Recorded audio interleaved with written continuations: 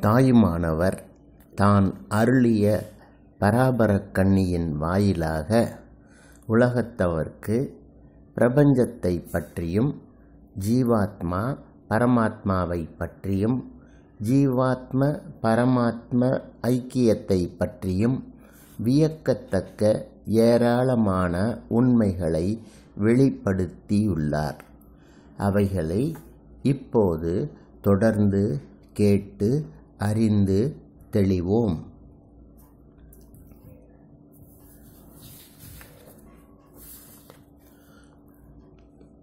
முக்த புருஷன் பிரகிருதி மோகத்தினின்று தன்னை மீட்டெடுத்து நிரந்தரமாக ஆத்மஸ்வரூபத்தில் சின்மயமாய் நிலைத்திருக்கிறான். அவனே முக்தியை நாடுகிற முமுட்சுகளுக்கு முன் மாதிரி ஆகிறான்.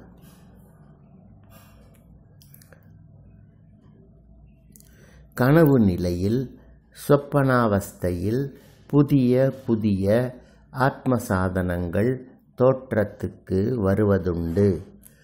அப்படி வந்து அவைகளின் வாயிலாக மனிதனுடைய ஜீவிதம் மேலானதாக திருந்தி அமைந்தால் அது சொப்பன தீட்சை என்று பெயர் பெறுகிறது.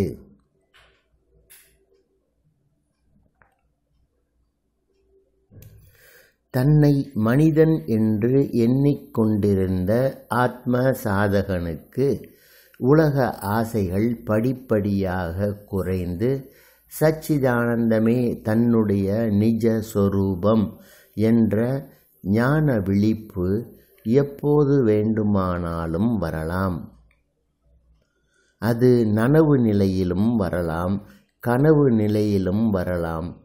எந்த அவஸ்தையில் வந்தாலும் சாதகன் அதை மகிழ்வோடு ஏற்றுக்கொள்கிறான். தாயுமான சுவாமிகளுக்கு அவரது குரு மௌன குரு ஸ்பரிச தீட்சையின் மூலம் ஆத்மபோதம் ஊட்டினார். கனவு போன்று தென்பட்ட அந்த நிகழ்ச்சி பிறகு நனவாகவும் நிறைவேறியது.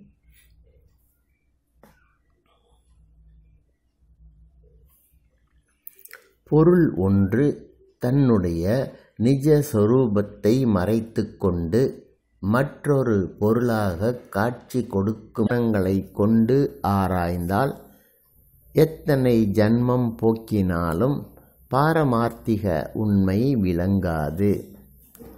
பிரபஞ்சமாக தோன்றுகிற அனந்தங்கோடி வஸ்துக்களாக இலங்குபவர் அண்ணல் ஒருவரே என்னும் மனப்பான்மையை வளர்த்தால் அதன் வாயிலாக அருள் நாட்டம் ஓங்குகிறது மெய்ப்பொருள் விளங்குகிறது.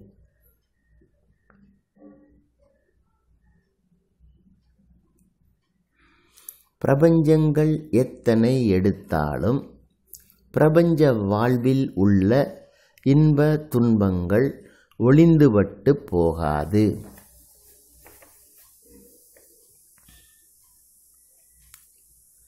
தவம் மேலோங்க மேலோங்க பேச்சு குறைகிறது. தவத்தின் பயனாக பேச்சு முற்றும் நின்றுவிடும்போது ஜீவாத்மன் பரவஸ்துவில் லயமாகி விடுகிறான். தவத்தை வளர்க்க முயலுகிறவன் மேலோன். தவத்தின் வாயிலாக ஆத்ம சாதகனிடம் ஆத்ம பிரகாசம் மிளிர்கின்றது. பேச்சின்றி மௌன நிலையில் நிர்மலமானவர் மீண்டும் பிறவார். பிரபஞ்ச வாழ்வில் பற்று வைத்திருக்கும் ஜீவாத்மன் ஒருவன் புளியம்பிஞ்சிக்கு நிகராகிறான். பிறவி பெருங்கடலை அனுபவித்து பார்ப்பதற்கேற்ப பிரபஞ்ச பற்றுதல் கொஞ்சம் கொஞ்சமாக குறைகிறது. அப்படி குறைவதே பிரபஞ்ச வாழ்வின் பிரயோஜனமாம்.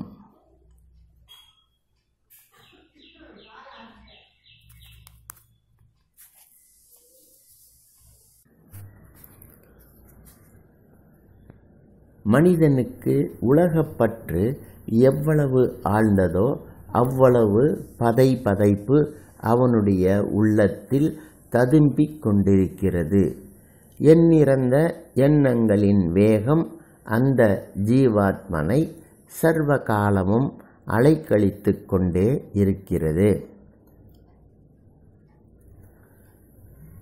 மனோவேகம் தணிவதற்கேற்ப எஞ்சியிருப்பது பரபோதம்.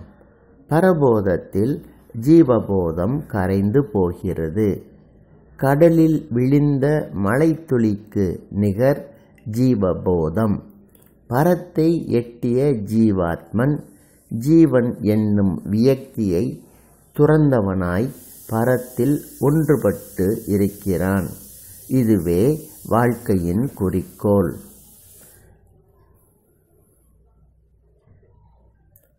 சிவனார் தாமே மானுட வேடம் தாங்கி சிவாச்சாரியாராக வந்து வாதவூராரை ஆட்கொண்டார். அவரே வாதவூராரை மாணிக்க வாசகன் என்று அழைத்து திருவாசகம் எழுதினார். பண்பட்டுள்ள ஆத்ம சாதகனுக்கு பரவஸ்துவே குருவாக வடிவெடுத்து வந்து அருள் புரிந்து ஆட்கொள்ளுகிறார்.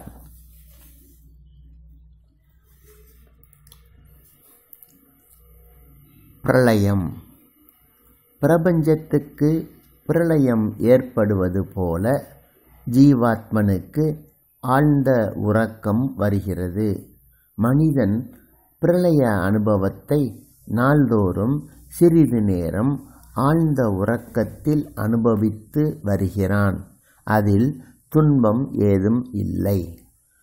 உடலினின்று ஒதுங்கி இருப்பது இன்ப நிலை என்பதற்கு ஆழ்ந்த அயர்ந்த உறக்கமே சான்று ஆகிறது.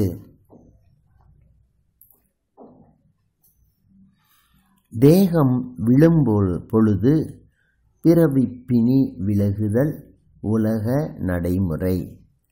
தேகம் விழும் பொழுது பிறவிப்பினி விலகுதல் உலக நடைமுறை. ஆசை முழுவதும் ஒழித்தவன் எடுத்துள்ள சரீரம். பிராரப்த கர்மம் ஓய்ந்ததும் வீழ்கிறது. ஆசையற்றதால் புதிய தேகம் எடுப்பதற்கான அவசியம் இன்மையால் அன்னவன் தேகம் எடுப்பதினின்று முக்தி அடைகிறான். பேரானந்தத்தில் அவன் திளைத்திருக்கிறான்.